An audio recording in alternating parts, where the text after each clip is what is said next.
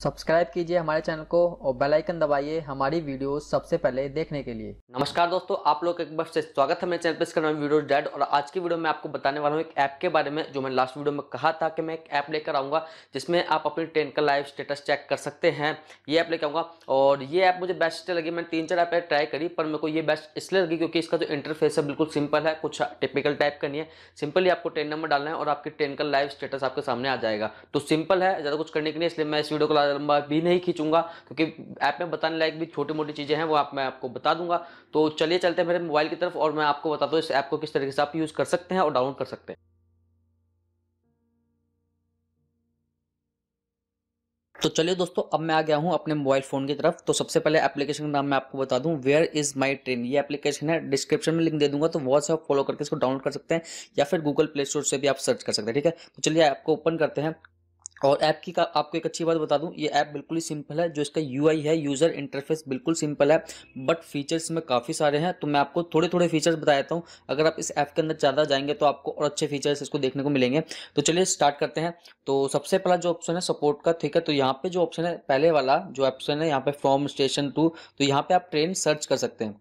आपको अगर एक स्टेशन से दूसरे स्टेशन पर जाना है तो आपके लिए कौन सी ट्रेन अवेलेबल है या फिर उस दिन कौन सी ट्रेन चल रही है, वो आपको यहाँ पे मिल जाएँगी और टाइमिंग सब मिल जाएगा। तो एक बार मैं सर्च कर लेता हूँ, यहाँ पे फाइंड ट्रेन पे क्लिक करता हूँ तो आप यहाँ पे देख सकते हैं सारी ट्रेनें आपकी यहाँ पे मिल जाएँगी। यहाँ पे आपको टाइमिंग उसका मिल जाएगा, नाम मिल जाएगा ट्रेन नंबर मिल जाएगा, साथ ही साथ उसकी जो प्राइस है अप्रॉक्स प्राइस मिल जाएगी। थोड़ी बहुत ऊपर इसलिए मैं कह सकता हूँ, हो सकती है बट आपको अप्रॉक्स प्राइस उसकी मिल जाएगी, ठीक है? यहाँ पर सारी, और अगर आपको किसी भी ट्रेन का रूट चेक करना है, या फिर अगर वो ट्रेन वहाँ से निकल चुके स्टेशन वो कहाँ तक पहुँचे, वो चेक करना है तो आपको सिर्फ़ उस पर क्लिक करना है, ठीक है? तो मान लीजिए मैं यहाँ पे क्लिक कर लेता हूँ, इस पर क्लिक कर लेता हूँ, ठीक है? तो यहाँ पे आप देख सकते हैं, यहाँ पे इसको सारे रूट मिल जाएँगे स्टेशन सारे मिल जाएँगे, जहाँ जहाँ से होती हुई आई है, और अभी फ़िलहाल यहाँ पे एक्टिव कहाँ पे है ट्रेन तो वो भी आपको देखने को मिल जाएगा, यहाँ पे लिखा है ग्वालियर जंक्शन तो वहाँ पे आपकी ये ट्रेन एक्टिव है, ठीक है?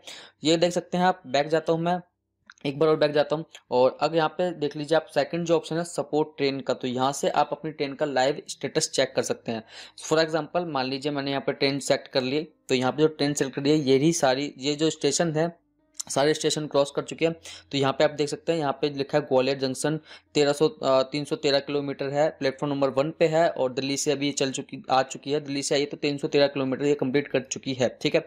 और यहाँ पे ग्वालियर जंक्शन, अगर आप, और ग्वालियर से आप सीधा झांसी जंक्शन रुकेगी तो इसके बीच में जो स्टेशन है, वो अगर आपको देखना है तो आप ग्वालियर जंक्शन पे एक बार क्लिक करिए। तो यहाँ पे जो सब स्टेशन है, वो एक हेड था और यहाँ पे सब हेड है जो, यहाँ पे सारे स्टेशन आपको मिल जाएँगे। अब ये जब जहाँ पे भी पहुँचेगी, वहाँ पे आपको पॉइंट करेगी। ये जो आपको जो एक लोकेशन वाला जो पॉइंट दिख रहा है, वहाँ पर आपको पॉइंट करेगी, जहाँ पर टेस्ट जो ट्रेन है आपकी अभी फ़िलहाल करंटली होगी, ठीक है?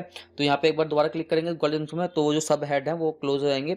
ऐसे ही अगर आप झांसी जंक्शन पर क्लिक करेंगे तो आप उसके नीचे जितने भी छोटे छोटे स्टेशन जहाँ पे ट्रेन नहीं रुकेगी, सिर्फ़ उनको क्रॉस करके जाएगी आगे तो वो आप देख सकते हैं। यहाँ पे क्लिक कर लीजिए और नीचे जो बार दिख रहा है यहाँ पे, जहाँ पे लिखा है हबीब हबीबगंज शताब्दी एक्सप्रेस तो वहाँ पे अगर आप क्लिक करते हैं तो यहाँ पे आप थोड़ी बहुत डिटेल्स और देख पाएँगे। जैसे कि नेक्स्ट स्टॉप है झांसी जंक्शन 19 किलोमीटर दूर है वहाँ से ग्वालियर जंक्शन से, ठीक है?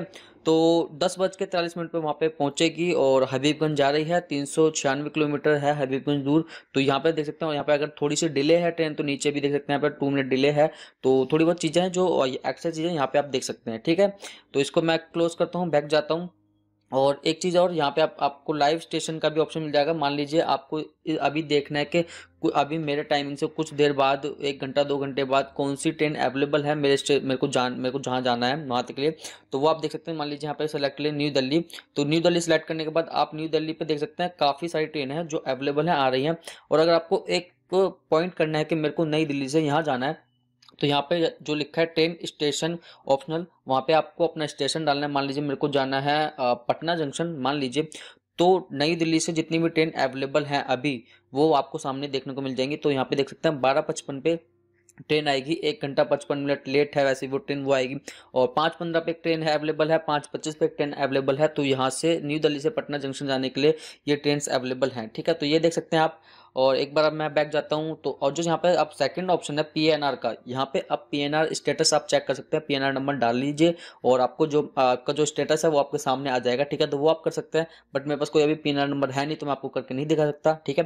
तो जो थर्ड वाला ऑप्शन है सीट का, वो सीट्स का तो यहाँ पे आपको सीट्स देखने को मिल जाती हैं कि जो सीट्स अवेलेबल है या नहीं आपकी ट्रेन में तो यहाँ पे मैं चेक कर लेता हूँ, यहाँ पे न्यू दिल्ली से हबीबगंज डेट है तीस तीस जून की मैं सिलेक्ट कर लेता हूँ, यहाँ पे आप क्लास सेलेक्ट कर सकते हैं, किस क्लास की आपको चाहिए? एक अगर प्रेफर क्लास चाहिए तो आप वहाँ पे सेलेक्ट कर सकते हैं। जनरल कोटा या तात्कालीन बुक करना चाहते हैं, वो भी आप यहाँ पे सिलेक्ट कर सकते हैं, ठीक है? तो यहाँ पे मैं फाइंड सीट्स पे क्लिक करता हूँ तो यहाँ पे जितनी भी ट्रेन है अवेलेबल है, वो आपको यहाँ पे आ जाएँगे और साथ ही साथ उनकी सीट भी आपको मिल जाएगी, ठीक है? तो सीट देख लेते हैं यहाँ पे, सबसे पहले जो ट्रेन है, पंजाब मेल इसका देख लेते हैं टाइमिंग आपको मिल जाएगा, जो आपको इसका टाइमिंग है। और यहाँ पे देख सकते हैं, चार सौ की टिकट है स्लीपर क्लास की बट उसमें छियालीस सीटें वेटिंग में है, ठीक है? अवेलेबल नहीं है। और एक हज़ार साठ की जो है थ्री ए की है तो वहाँ पे भी बारह सीटें वेटिंग में है अवेलेबल नहीं है। ठीक है? और अगर हम सेकंड ट्रेन देखते हैं हबीबगंज शताब्दी एक्सप्रेस तो यहाँ पे बारह सौ रुपये की सीट है चेयर क्लास की। यहाँ पे छः सौ पैंसठ सीटें अवेलेबल हैं। तो आप हंड्रेड परसेंट है यहाँ पे मतलब आप अगर टिकट बुक करते हैं तो आपको सीट मिलेगी मिलेगी, ठीक है? तो यहाँ पे देख सकते हैं, जहाँ पे अवेलेबल होगा वहाँ पे, ठीक है? तो यहाँ पे देख सकते हैं बट यहाँ पे एक माइनस पॉइंट है कि आप टिकट बुक नहीं कर सकते तो थोड़ा सा माइनस पॉइंट है बट कोई दिक्कत वाली बात नहीं है, ठीक है? और मान लीजिए आपको तीस तारीख को सीट्स नहीं मिलती है तो आपको बाहर जाने की ज़रूरत नहीं है, आप ऊपर ही बार में डेट चेंज कर सकते हैं। यहाँ पे लिखा हुआ है तीस जून, एक जुलाई, दो जुलाई, तीन जुलाई तो यहाँ पे ही आप अपनी जो डेट है वो चेंज कर सकते हैं। आराम से आपको वापस बाहर जाने की ज़रूरत नहीं है, ठीक है?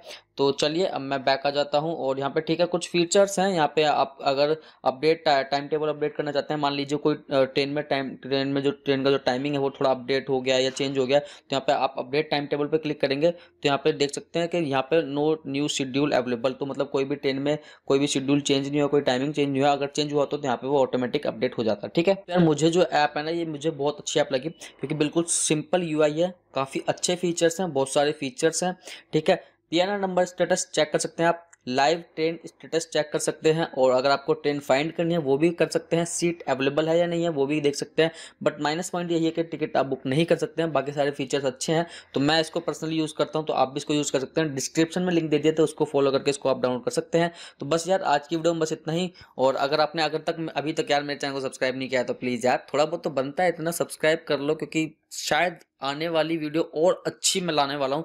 तो बस सब्सक्राइब बनता है। तो thanks for watching this video and subscribe my YouTube channel for more videos